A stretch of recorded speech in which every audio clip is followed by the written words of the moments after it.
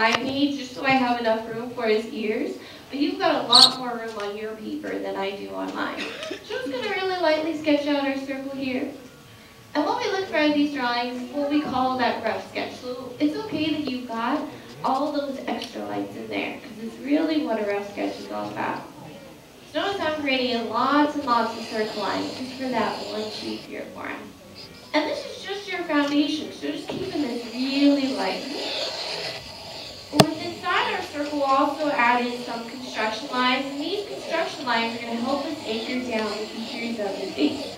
So he's not going to look straight ahead of us or in profile. It's going to be what we call a three-quarter angle. So instead of drawing a line right down the middle of the circle, I'm going to draw a stretched out backward C. So I'm giving this construction line a bend to it, like you're cutting out a crescent moon right outside of that circle.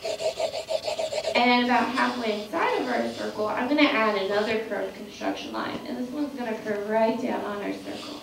So this is like a stretched out letter U shape here for him. You can also think of it as you're creating a beach ball there on your page here as well. Now this is just our basic foundation for alcohol. Now that we've got a foundation, we're going to start to add in some details to make it look like him. And we'll start off by adding in his nose. His nose is just going to be a little oval shape here for us. Just coming right here to that plus sign, I'm just going to lightly sketch out an oval. And I'm going to even stretch this out past our original circle here as well. This is one of the only features for him that actually stick outside of that circle. Now this is something I want to keep, so I'm going to come back and darken this in. Now his nose is a little flat up here at the top, so I'm going to flatten out the oval up here at the top for him. Going to keep the roundness over here on the side and at the bottom for him as well. So this looks more like a jelly bean shape here for him. Notice now how his nose is starting to stand out from the rest of our drawing.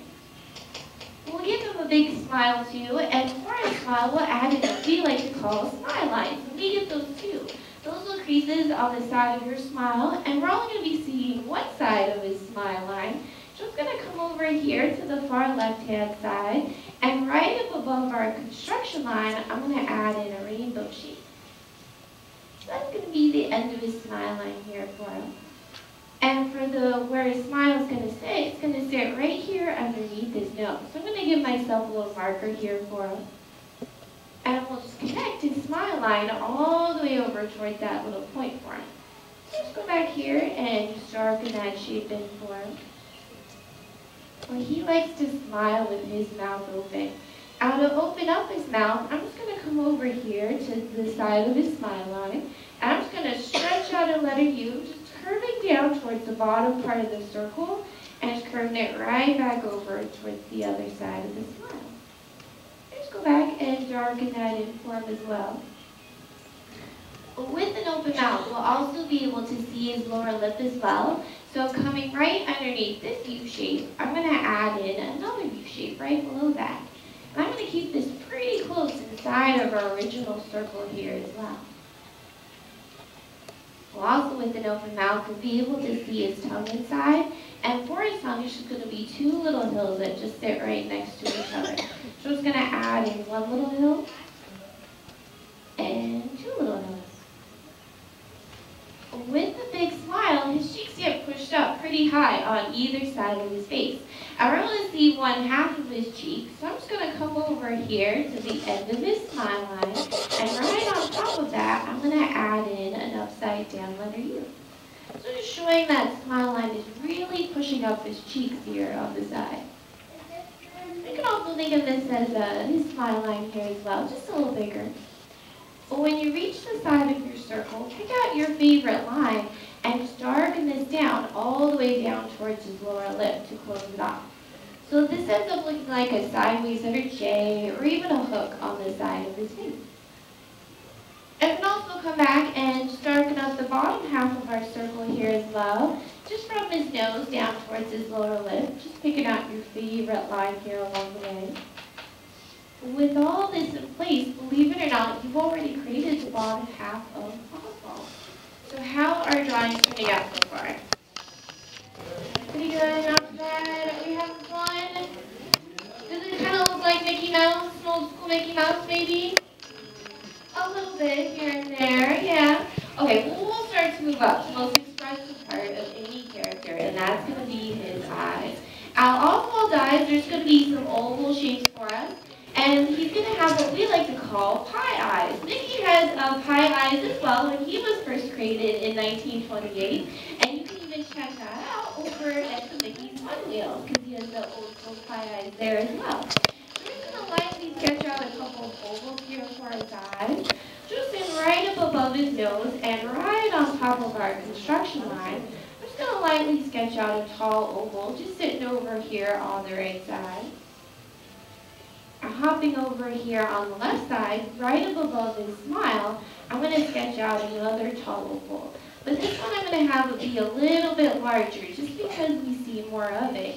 Because he is sitting in this three-quarter angle, anything that's over on the left side is going to look larger than over here on the right side. now to give him these old school pie eyes, uh, pie eyes, I'm going to cut out just a letter B here on the side of his eye. What they like to call a highlight. I'm just doing the same thing over here on the right side. You can also think of them as like Pac-Man eyes here as well and go back and just darken up the rest of the oval. Just picking out your favorite oval line here along the way. Speaking of video games, uh, Oswald is going to appear in the new Epic Mickey 2 game that will be coming out in September, so you can check that out. And it's also going to appear in the 3DS game as well. Well, with those eyes in place, you want to go back and make sure that they're the darkest part of our drawing. This is where all the attention and focus goes to is right inside those eyes. And since Oswald doesn't talk, it's the most expressive part of any character. So just making sure that those here are extra dark here for him. And in the Epic Mickey 2 game, he is going, for the first time uh, with Disney, is going to get a voice. So you can actually hear Oswald speak as well. Just making sure that those are extra dark there for him with his eyes in place, we can start to add in his mask. And Mickey has a mask too, and his is a letter M shape, and Oswald's mask is a letter M shape as well. Just going to come up here to the top of the circle, and right here where our construction line and our circle meet in the middle, I'm going to add in the letter V. So this would be the middle of his mask. Well, from our letter V, I'm going to curve it up towards the top of the circle and dropping it right back down towards that cheek line here for him. So it's going to curve it right up here towards the top of the circle it away from his eye, just dropping it right back down towards that cheek.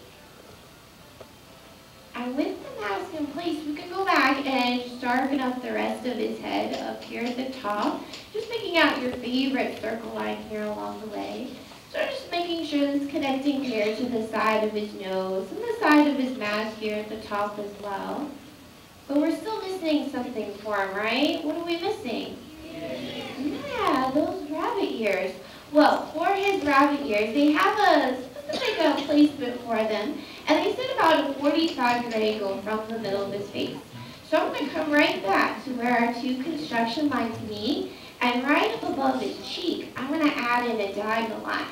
I'm going to push this line out pretty long here, just because his rabbit ears are long for him.